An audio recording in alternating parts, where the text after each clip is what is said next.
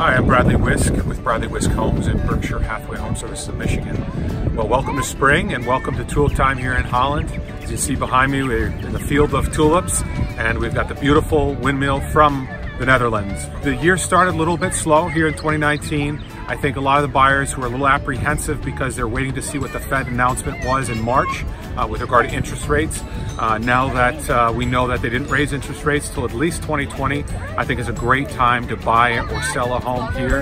And I'd be glad to help you. And let's grab a warm cup of coffee. And uh, may the fourth be with you. And have a safe and happy Cinco de Mayo.